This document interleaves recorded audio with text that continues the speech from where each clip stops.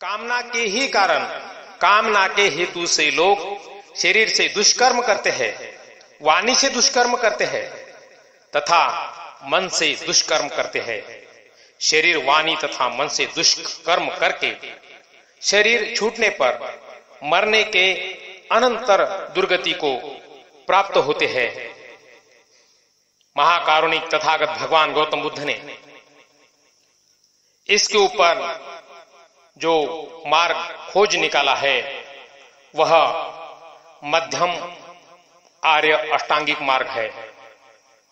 जैसे ठीक दृष्टि, ठीक संकल्प, ठीक वाणी, ठीक कर्म, ठीक आजीविका, ठीक परिश्रम, ठीक स्मृति, ठीक समाधि।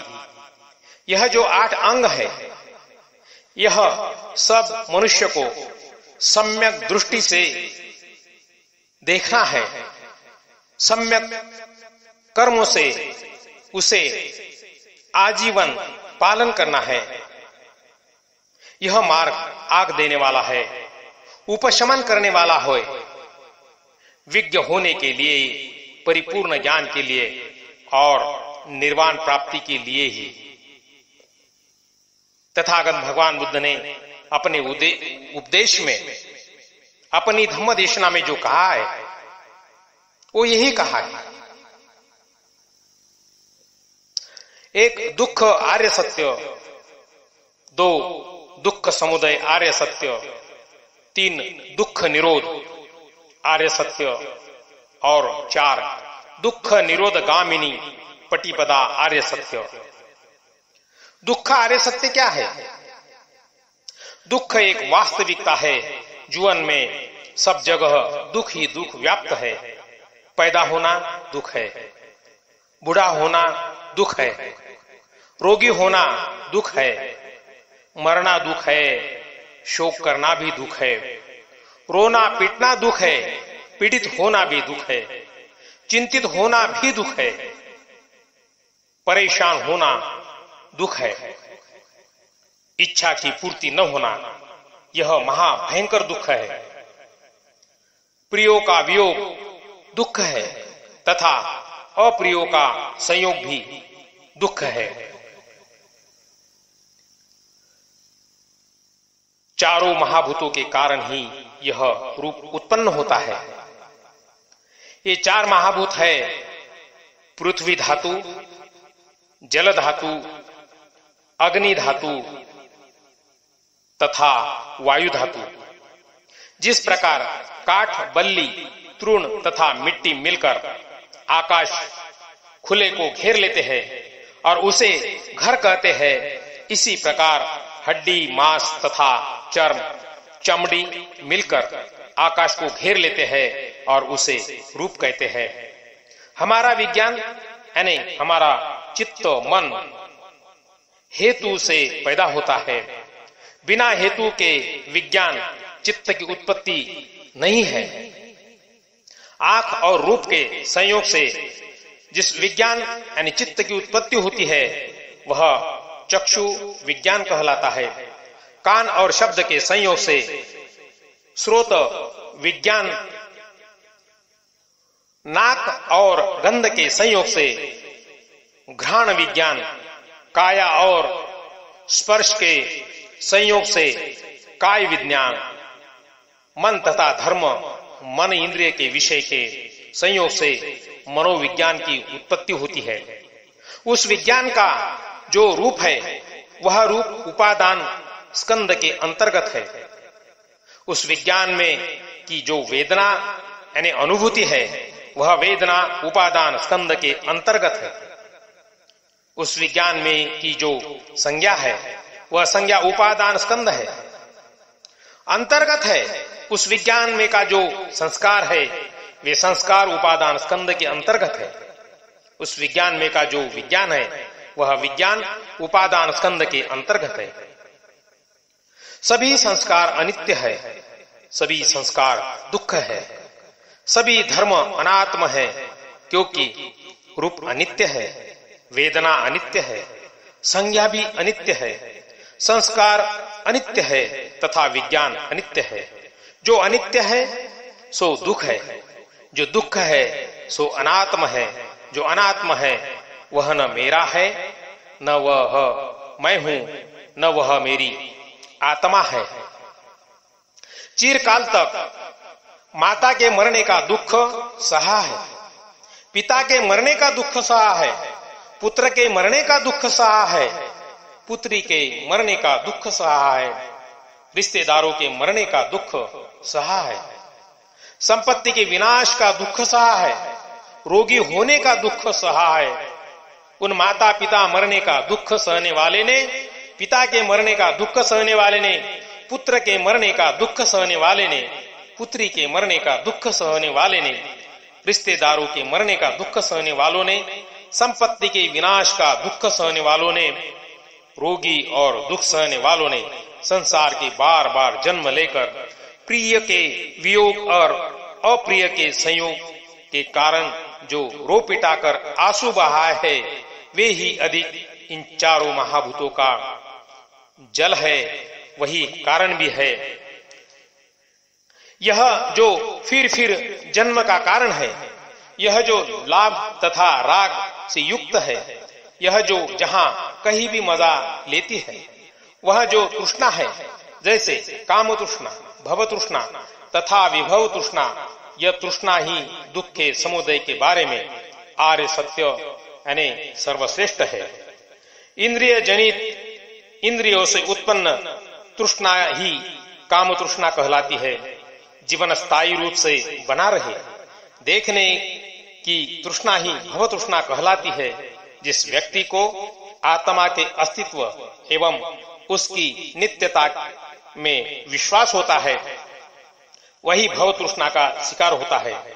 जिस व्यक्ति का मिथ्या मत होता है कि जन्म से लेकर मृत्यु तक मेरा अस्तित्व है और जन्म से पूर्व तथा मृत्यु के पश्चात मेरे जीवन का किसी भी अस्तित्व से संबंध नहीं है, वही विभव तृष्णा का शिकार होता है। संसार में जो प्रियकर है संसार में जिसने मज़ा है, वही तृष्णा पैदा होती है और वही अपना घर बनाती है। संसार में प्रियकर क्या है? संसार में मज़ा किसमें है? संसार में चक्षु आँख प्रियकर है। संसार में चक्षु मज़ा है। संसार में रूप प्रियकर है। संसार में रूप में मज़ा है। संसार में स्रोत कान प्रियकर है। संसार में स्रोत में मज़ा है। संसार में शब्द प्रियकर है संसार में शब्द में मज़ा है संसार में घान नाक प्रियकर है संसार में घान में मज़ा है संसार में गंध प्रियकर है संसार में गंध में मज़ा है संसार में जिहा प्रियकर है संसार में जिहा में मज़ा है संसार में रस प्रियकर है संसार में रस में मज़ा है संसार में काय प्रियकर है? संसार में काय में मज़ा है? संसार में स्पर्श प्रियकर है? संसार में स्पर्श मज़ा है? संसार में मन प्रियकर है? संसार में मन में मज़ा है? संसार में मन के विषय, यानी धर्म स्वभाव प्रियकर है? संसार में मन के विषयों में मज़ा है? इन्हीं में यह तृष्णा पैदा होती है और इन्हीं में यह अपना घर बनाती है। इन इंद्रियों के विषय के संपर्क से उत्पन्न होने वाली वेदना प्रियकर है। इस वेदना अनुभूति में मज़ा है। इस प्रकार विषयों में आसक्त होकर व्यक्ति दुख भोगता है। ऐसे प्रिय कर के प्रति आसक्त होने वाला तथा अप्रिय से दूर भागने वाला जिस सुख, दुख अथवा अदुख, असुख किसी भी प्रकार की वेदना अनुभूति का अनुभव करता है, वह उस वेदना में आनंद लेता है प्रशंसा करता है, उसे अपनाता है। वेदना को जो अपना बनाता है, वही उसमें राग उत्पन्न होता है। वेदना में जो राग है, वही उपादान, यानी ग्रहण करने की इच्छा है। जहाँ उपादान है, वहाँ भव। आवागमन है, जहाँ भव है, वहाँ पैदा होना है। जहाँ पैदा होना है, वहाँ बूढ़ा होना है। मरना, शोक करना, रोना, पीटना, पीड़ित होना, चिंतित होना परेशान होना सब है इस प्रकार इस सारे दुख का समुदाय होता है। दुख के निरोध के बारे में आर्य सत्य है, उसी तृष्णा से संपूर्ण वैराग्य, उस तृष्णा का निरोध, त्याग, परित्याग, उस तृष्णा से मुक्ति, अनासक्ति, यही दुख निरोध के बारे में आर्य सत्य है। संसार में जो प्रियकर है, संसार में जिसने मज़ा लिया है उसने, उसके प्रति तृष्णा पैदा होती है। उसी में निरोध करने से निरुद्ध होता है। संसार में जो कुछ भी प्रिय कर लगता है, संसार में जिसमें मज़ा आता है, उसे दुख करके समझेंगे रोक करके समझेंगे, उससे डरेंगे, वही तृष्णा को छोड़ सकता है। यह जो रूप का निरोध है, उपशमन है अस्त होना है, यही दुख का निरोध है। रोगों का उपशमन है जरा मरण का अस्त होना है। यह जो वेदना का निरोध है, संज्ञा का विरोध है, संस्कारों का विरोध है, तथा विज्ञान का विरोध है, उपशमन है, अस्त होना है, यही दुख का निरोध है। रोगों का उपशमन है जरा मरण का अस्त होना है। निरुद्ध हो जाता है उपादान निरुद्ध हुआ। जो भव निरुद्ध भव निरुद्ध हुआ तो जन्म, जाति निरुद्ध, पैदा होना, निरुद्ध होना। जो बुढ़ा होना, मरना, शोक करना, रोना, पीटना, पीड़ित होना, चिंतित होना, परेशान होना, यह सब निरुद्ध हो जाता है। इस प्रकार इस सारे के सारे दुख, स्कंद का निरुद्ध हो जाता है। यही शांति है, यही श्रेष्ठता है यह जो सभी संस्कारों का क्षमन, सभी चित्तमलों का त्याग, तृष्णा का क्षय, विराट स्वरूप, निरोध स्वरूप निर्वाण है, जिसका हृदय राग से अनुरक्त है, द्वेष से दूषित है, मोह से मूड है, वह ऐसी बातों को सोचता है जिससे दुख हो, वह ऐसी बातों को सोचता है जिससे दूसरों को दुख हो, वह ऐसी बातों को सोचता है जिससे उसे तथा दूसरों को, दोनों को दुख हो, उसको मानसिक दुख तथा चिंता रहती है। किंतु जिसका हृदय राग से मुक्त है, द्वेष से मुक्त है, मोह से मुक्त है, वह ऐसी बातों को नहीं सोचता जिससे उसे दुख हो। वह ऐसी बातें नहीं सोचता जिससे दूसरों को दुख हो। वह ऐसी बातों को नहीं सोचता जिससे उसे तथा दूसरों को, दोनों को दुख हो। उसको मानसिक दुख तथा चिंता नहीं रहती। इसी प्रकार व्यक्ति जीते जी निर्वाण को प्राप्त करता है, जो काल से सीमित है, जिसके राग में कहा जाता है कि आओ और स्वयं देख लो, जो ऊपर उठाने वाला है, जिसे प्रत्येक बुद्धिमान व्यक्ति स्वयं प्रत्यक्ष कर सकता है। इस प्रकार व्यक्ति जब शांत चित्त हो जाता है, जब बंधनों से बिल्कुल मुक्त हो जाता है, तब उसको कुछ और करना शेष नहीं रहता।